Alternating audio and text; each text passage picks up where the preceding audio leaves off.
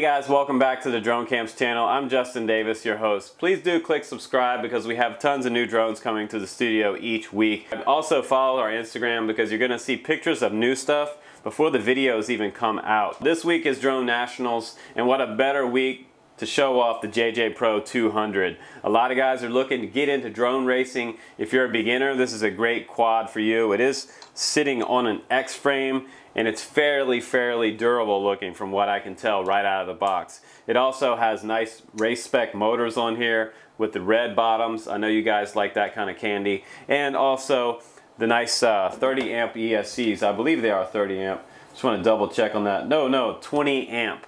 So no big deal. You can still run this thing 3 or 4S. Very, very nice from JJ Pro. This is their first entry into the drone racing market. They've done tons of other really nice, high quality toy drones.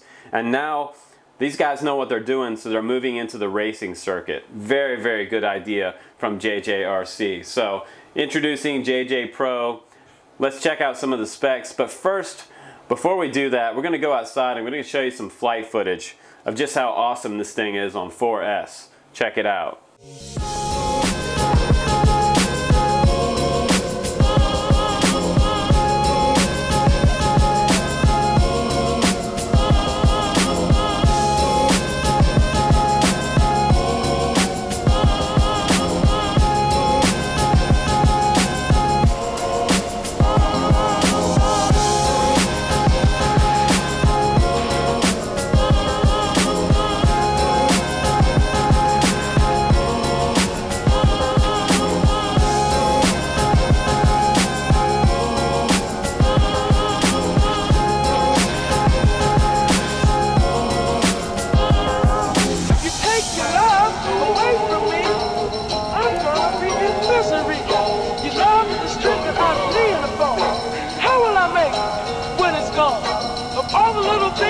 wanted to say, I really wanted to do, girl, this time.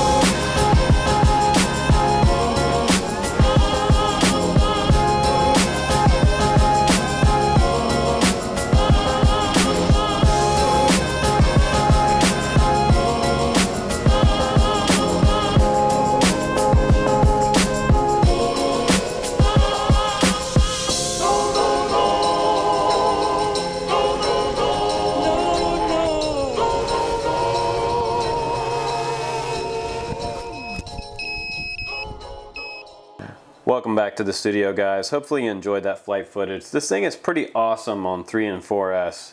Uh, 3S was very, very snappy and very quick, and 4S was just out of my mind boost um, with this thing straight up.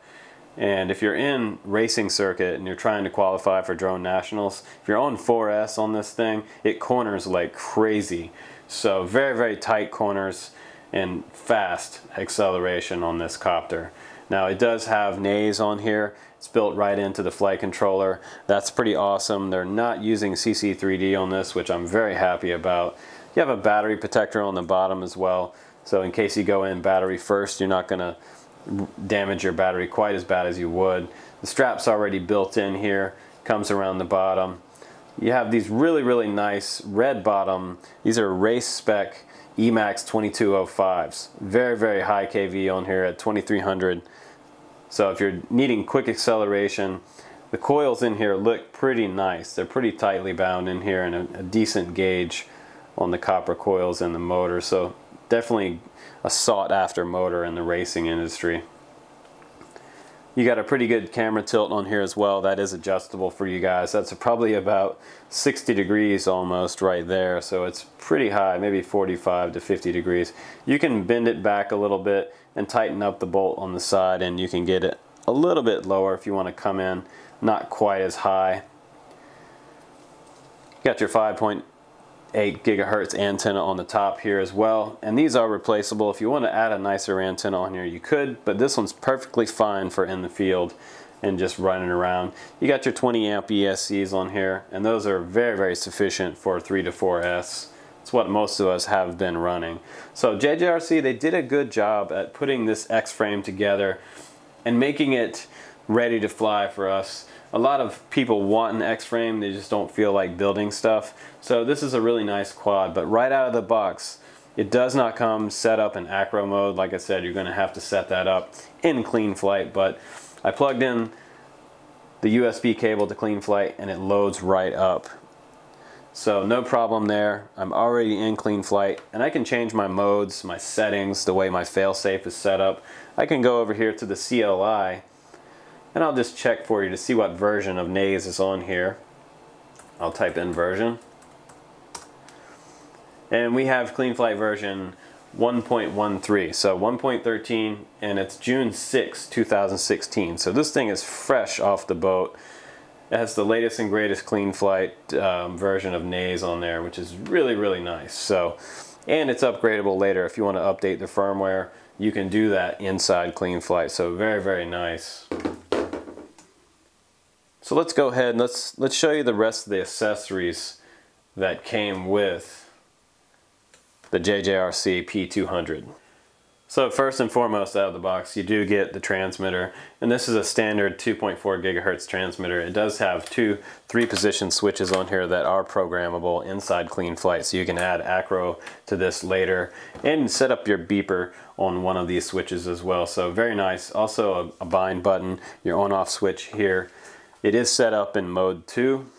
It might be set up available in mode 1, I'm totally not sure. It does have a trainer bind um, option here on the back, so if you want to buddy box with somebody and let them fly the quad, you can do that for new guys, which I love to do.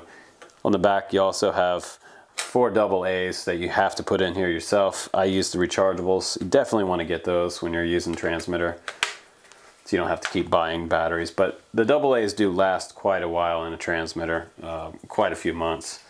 Next up we have the European converter so we can plug this charger in. A very nice charger comes with it. This is set up for 3 cell. Don't try to charge a 4S on this. Definitely not going to work. And it does have the American plug on here so we can plug this right into the wall so I can get charging. It probably takes around an hour or so to charge the battery that comes with it. A nice little bag here that comes with it. Open that up for you. And they do send you a 3S. This is a 1500 that comes with this. You can run at 4S. I would probably not go any higher than 1500 4S on here because it's going to get pretty heavy. So 1300 4S is probably about perfect in the 4S range. You also get really, really nice nuts that come for your motors. Those are counterclockwise and clockwise nuts. These are the three millimeter stems on here. That's pretty standard in the industry. And we have two sets of props. Very, very nice that we have two sets of props. You can also run tri-props on this copter as well. So if you don't want to run the stock props, that's no problem there. But these are great for racing. And up next we have a GoPro mount that they include with this. So that's very nice. Guys that you that want to fly a GoPro, you hook this up. There's instructions and there's an exploded view of this inside the user manual. And I'll show you how to hook this up. Very, very nice that they include that with it. Because most times you have to buy those separately, which is kind of annoying. JJRC was nice enough to include one. Also, we have extra zip ties here for any other accessories you might put on there and an extra bind plug there.